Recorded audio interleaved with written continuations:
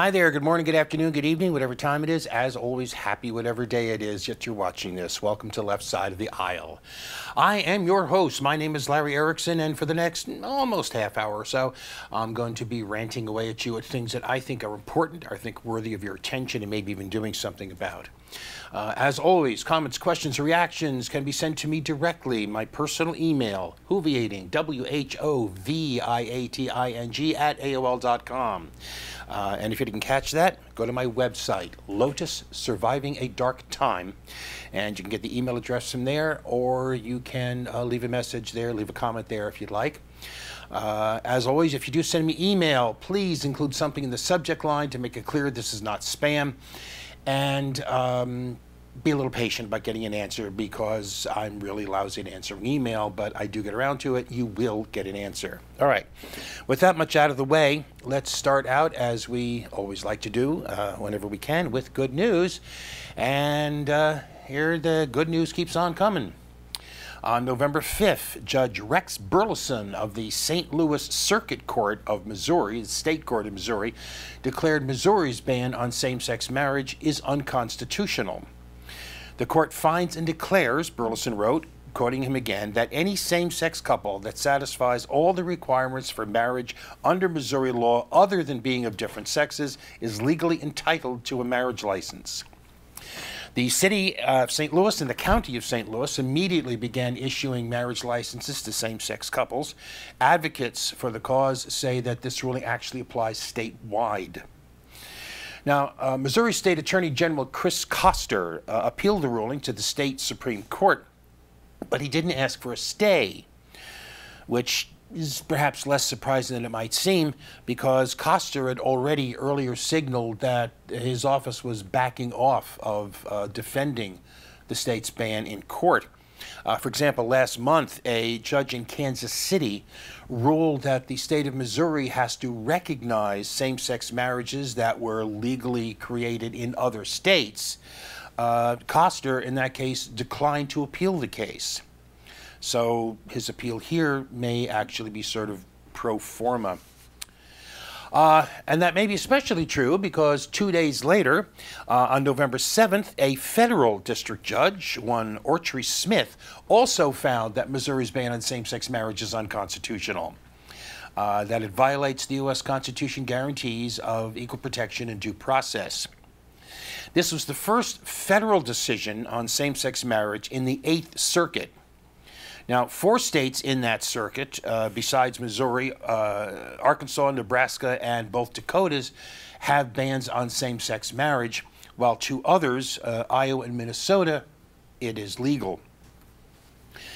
Okay, and to round things out, on November 7th, that same day, the 10th Circuit Court of Appeals refused to hear an appeal from Kansas of a lower court, a district court ruling, uh, saying that the state could not enforce its ban on same sex marriage. Now, that decision was expected because the 10th Circuit was one of those circuits that had already ruled in the cases of other states with essentially identical laws that they fall before the U.S. Constitution. But it still means that um, the decision was welcome because it means for Kansas this is the end of the road and same sex marriage has come to Kansas. And that, of course, immediately brings up the not good news. On November 6th, apparently the first week of November was a very busy week on this front. On November 6th, the Sixth Circuit Federal Court of Appeals upheld, approved, sanctioned legal discrimination against same sex couples by the states of Kentucky, Michigan, Ohio, and Tennessee. Uh, same-sex couples who want to get married or have their marriages confirmed in other places recognized there are, at least for now, at luck. The ruling was by a three-judge panel was a split one, two to one. Now, the thing is, neither the ruling nor the split came as a particular surprise. People had been kind of predicting that, kind of expecting that ever since the oral arguments. But the thing is, what struck me here was not the decision itself, but the utter vacuity of the logic being used. Essentially, every argument the majority offered to approve of bans on same sex marriage could have been, and in fact, most of them were, used years ago to support bans on interracial marriage. Uh, uh, during oral arguments, uh, Judge Jeffrey Sutton said, quoting him, I would have thought the best way to get respect and dignity is through the democratic process.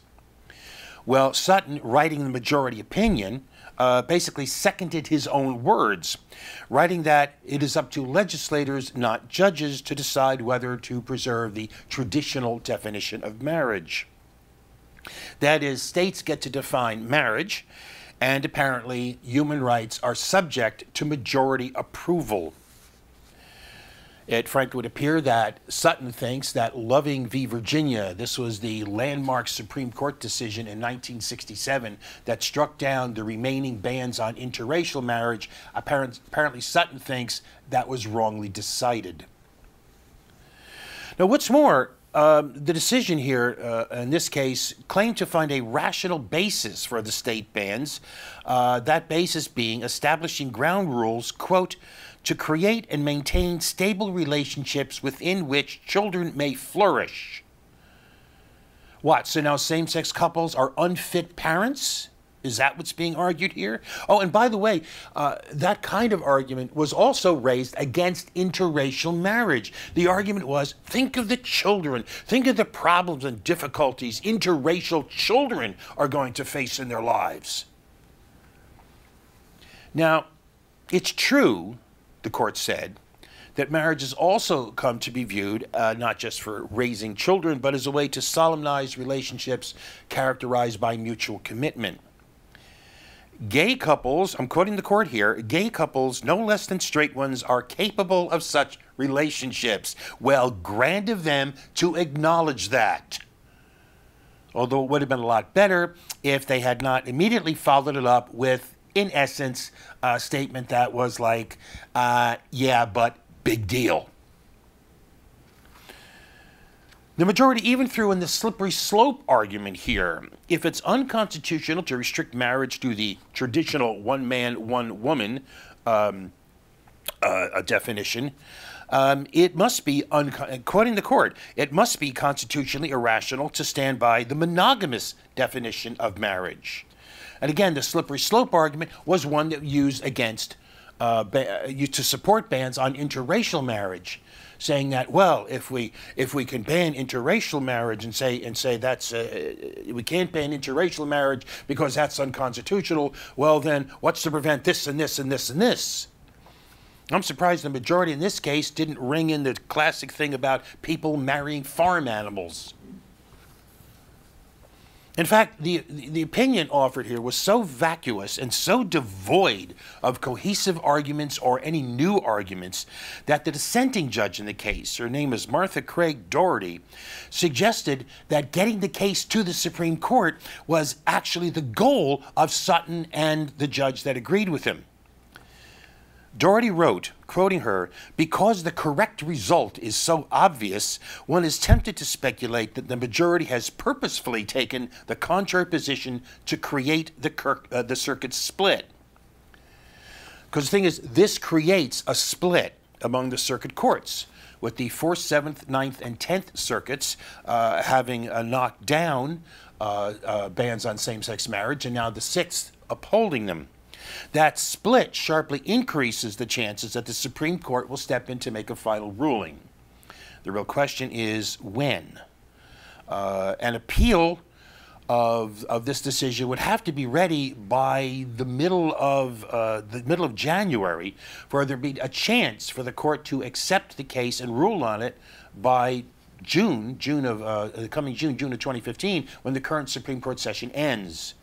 If that appeal is not ready by that time, uh, the case will be pushed off till the next Supreme Court session and uh, probably would not be have a decision before June of 2016.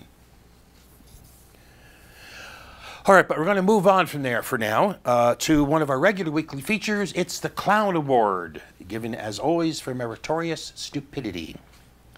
And the winner of the Big Red Nose this week is one of the most important, significant people of whom you have probably never heard who is not a right wing billionaire. His name is Tom Wheeler. Now, our story here actually starts some time back, but the current chapter began on November 10th. That's when Barack Obama, the amazing Mr. O, put an end to months and months of vacillating and tiptoeing, or in other words, put an end to months and months of being Barack Obama, uh, and came out in favor of, quoting, the strongest possible rules to protect net neutrality. The principle that internet service providers, or ISPs as they're called, can't favor some uh, internet traffic over others. That is, that all web traffic must be treated equally. Uh, this net neutrality has been a bedrock principle of, uh, uh, of the internet all along and has been a major driving force behind its expansion and its development because everyone had equal access, so everybody had an equal chance to get their message out. Whether that message was a commercial one or a philosophical one or a political one, or as always seems to be true with most human endeavors, whether it was porn. The thing is, that principle of net neutrality has been under attack for some time by the major ISPs such as Comcast and Time Warner. They want to be able to cut deals with uh, high traffic websites to promise them faster access, higher speeds of transmission of their data in return for special fees those websites would pay to the, to the ISPs. Now, years ago, when the idea of the internet was just getting going, just getting started, Al Gore referred to what became the internet as the information superhighway. You could think of what's what the what the telecoms want here as saying that you've got this highway, but they want to put toll booths on every entry ramp. And if you can afford the tolls, you can be up there on that multi-lane highway. But if you can't, you're stuck on the single lane, rutted back roads complete with traffic jams and red lights. Now, the big websites, the telecoms obviously like this because it makes them more money. The big websites also like the idea because it tends to cement their dominance in the internet market against the risk of some upstart site challenging their position uh, and competing for their traffic. Since the, the idea is the, the big sites, the big guns, can easily afford the fees that the telecoms will want, while startups quite possibly couldn't. Now, the FCC has been muddling about trying to find a way to satisfy the corporate giants while at least looking like it's protecting net neutrality. Well, now Obama has come out in favor of the simplest, most straightforward way of dealing with this issue. Reclassify the ISPs as common carriers under the Telecommunications Act. That would allow them to be regulated like public utilities, and just as the case with your telephone, could make it illegal, quoting the law, to make any unjust, unreasonable discrimin discrimination in charges, practices, classifications, regulations, facilities, or services. In other words, everything is equal, just like all your phone calls are equal, all internet traffic would be equal. Enter Tom Wheeler. Tom Wheeler is the chair of the FCC. And just hours after Obama's statement, even as his own office was releasing a statement claiming that Wheeler opposes what are called internet fast lanes, Wheeler was telling a group of business executives from major web comp companies such as Google and Yahoo and Etsy and so on that he wants a more nuanced approach. He wants what he calls a hybrid approach. The approach which would essentially allow precisely the sort of fee for speed arrangements that the principle of net neutrality rejects, while claiming to protect net neutrality by saying that paid prioritization deals would have to be proved that they are just and reasonable. In other words, they would be considered on a case by case basis and look at how well that procedure has done to curb corporate mergers. But skip the legal technicalities about, about this. In fact, skip the technical technicalities about net neutrality Here's a handy quick guide to four things you need to keep in mind in considering this issue. One, if someone loudly insists that they are absolutely opposed to, to site blocking, which is the thing where ISPs can simply block access to certain legal websites of their choosing. If anyone says that, they're trying to con you. Everyone from the very beginning, everyone on all sides in this, from the very beginning, has been against site blocking. The real fight here is over paid prioritization and its opposite, which is called throttling, which is where an ISP will deliberately slow down traffic to or from a particular site. So anyone who goes around ballyhooing their opposition to site blocking is actually trying to hide their support of prioritization and throttling. Two, Verizon is starting a new online tech and lifestyle magazine they're calling sugarstring.com.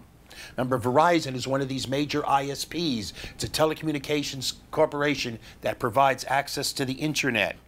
Applicants for jobs at this online magazine have been told, literally in so many words, that they will be not be allowed to write anything about net neutrality or domestic spying, by the way, which is another area where Verizon has, let's say, a vested interest. Three, third thing to keep in mind Ted Cruz is against net neutrality. He calls it Obamacare for the internet. Four, Tom Wheeler is a former lobbyist for the telecommunications industry who recently declared, I am an independent agency. This is reference to the FCC. The thing is, he didn't say, I'm with an independent agency. He didn't even say, I head an independent agency. He said, I am an independent agency. Apparently, l'état c'est moi. Oh, wait, there's a fifth thing you could keep in mind when you consider this. Tom Wheeler is a clown. And we're going to take a break.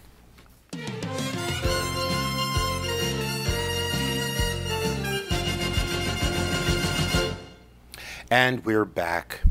Now, it's been uh, more than a week since the election, and uh, you know a lot of people are probably pretty depressed about what came out. So, just to sort of try to keep people's spirits up a little bit, I'm going to spend some time talking about some good things that I think came out of the election. They're kind of scattered around different individual things, but I still think it's worth looking at. Um, for one thing, uh, Representative Alan Grayson of Florida won re-election by a double-digit margin. The reason that's important is because he basically was target number one by the right wing in the House of Representatives.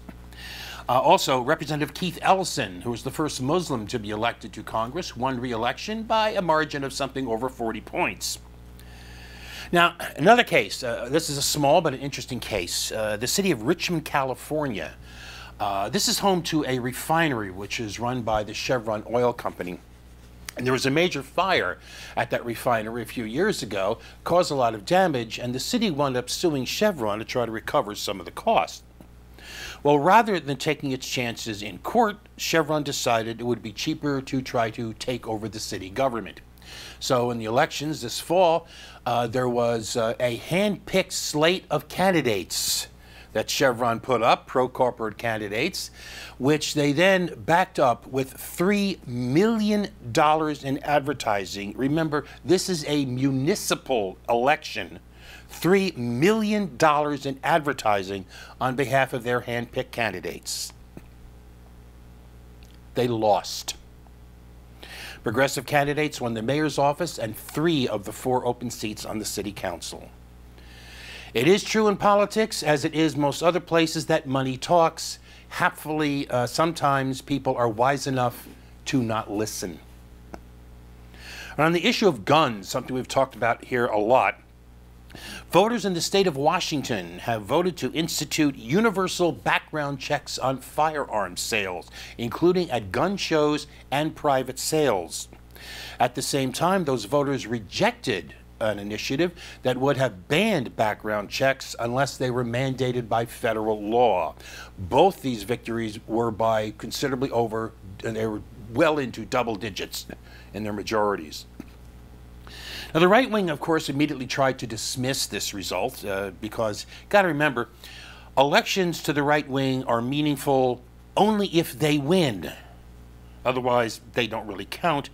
um, which is why uh, voter suppression to them, uh, in their minds, is apparently protecting the integrity of the process. Well, in response to this, to, to the vote in Washington, the right wing site Breitbart.com blew it off by comparing it to wins in various races around the country won by candidates who were endorsed by the NRA, the Nutsoid Rabbit Brains of America. And Breitbart claimed that this win, these wins by NRA supported candidates means that nationally gun control advocates got a shellacking even though guns actually were not an issue in most of those campaigns. Massachusetts, meanwhile, has become the third state in the country to require employers to offer paid sick time off to employees. Two other uh, two major municipalities, Trenton and Montclair, New Jersey, did the same, and Oakland, California voted to expand that state's requirement on sick time. This is actually, this paid sick time, this is actually something that's been gaining ground. Just two years ago, just one state and three cities had such, had such laws. Now the number is three states and 16 cities.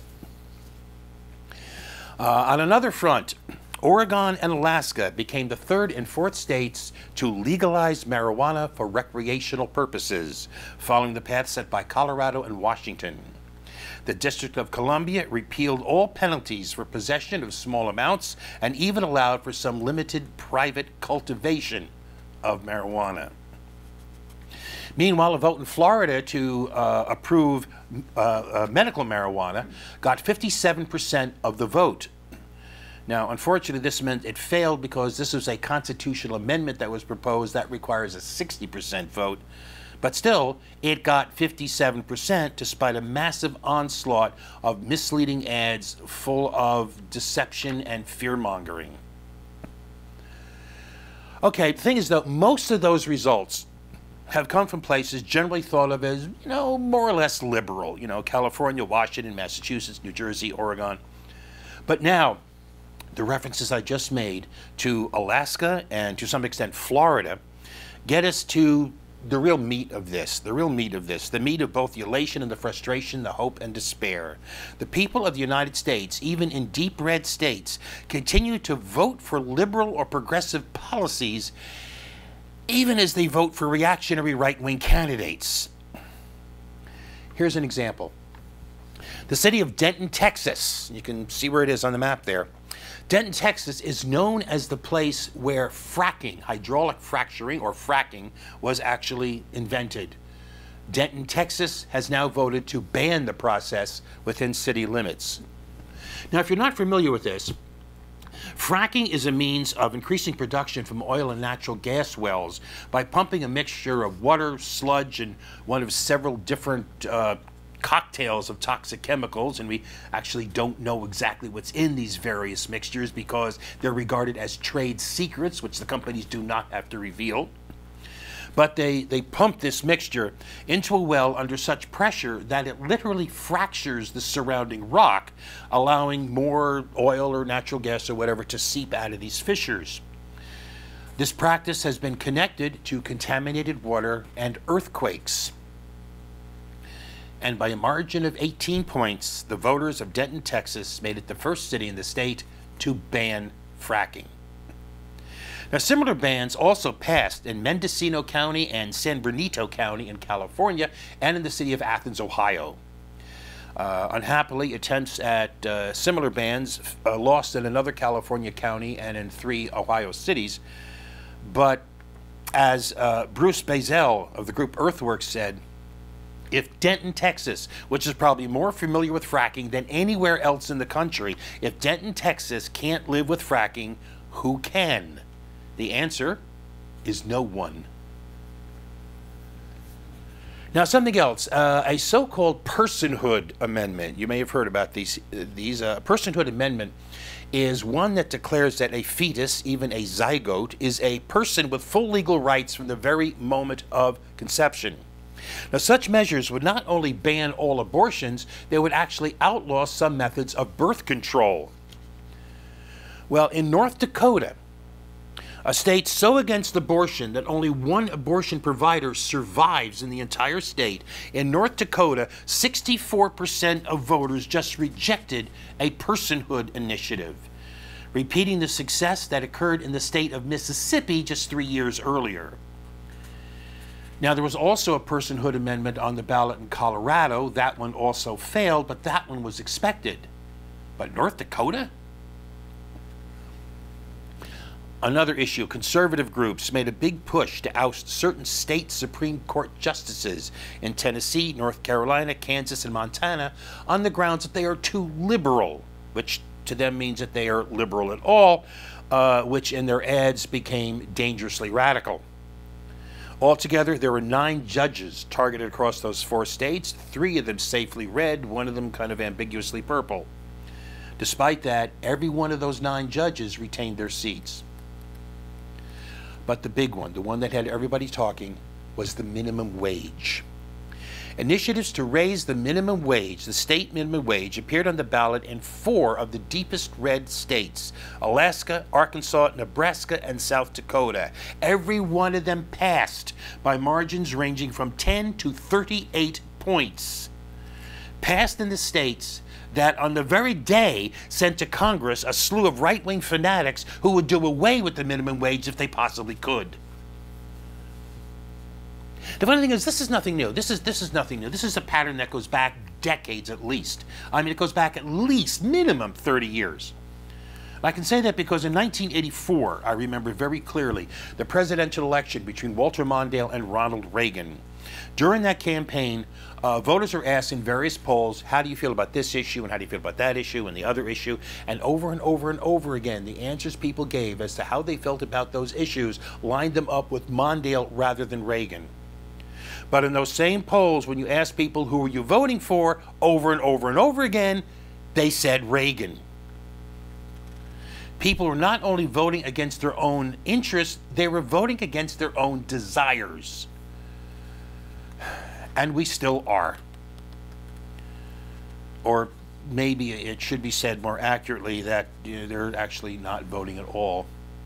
Turnout for the 2014 midterms was estimated at 36%. Apparently, a lot of us think that our right to vote is so precious that we shouldn't even dare touch it at all.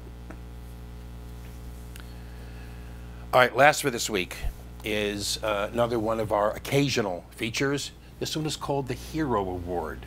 This is where somebody is uh, recognized for just, just doing the right thing on a matter big or small. Every Wednesday at 5:30 p.m. for the last 23 years, 90-year-old Arnold Abbott has been feeding the homeless at a public beach at Fort Lauderdale, Florida. He organized and headed up the Maureen A. Abbott Love Thy Neighbor Fund, which was named in favor, uh, uh, uh, rather in honor of his late wife, with who he first began to feed homeless and first began to feed the hungry, uh, hungry back in 1979. But since January 2013, 21 states across the country have passed laws restricting public feedings of the homeless and the hungry, and 10 more have similar rules under consideration, according to an October report from the National Coalition for the Homeless. Nationwide, at least 57 cities have limited or banned public feeding of the hungry and homeless. In late October, Fort Lauderdale became one of those cities, passing a law for the specific purpose of making it harder to feed hungry homeless people. The new law requires not only permits for setting up uh, a station on public property, it requires portable toilets, hand washing facilities, and more. Facilities which are kind of shoestring operations that do this kind of charitable work generally simply cannot afford. Violations are punishable by up to 60 days in prison, a $500 fine, or both. On November 2nd, two days after this law went into effect, Abbott and several volunteers went out and ran a food station outside a public park in open defiance of the law. He and two members of the local clergy were charged with violating the law and taken away. The city insists they were not arrested, merely cited uh, for a later court appearance, but since they were taken away by police and held before being released, that just strikes me as a difference that's more semantic than real. Three days later, at 5:30 p.m., Abbott was there at the beach where he had been every Wednesday for 23 years. He was again cited, now faces a second $500 fine or 60-day sentence. He says he won't give up. It's unlikely that the city government of Fort Lauderdale will be shamed into changing its ways because this is not the first measure the city has taken to respond to homelessness by trying to make it invisible rather than dealing with it. Be that as it may, however, one thing does remain clear Arnold Abbott is a hero. And that's it for this week. We're going to get out of here. You have the best week you possibly can. We will see you next week. Peace.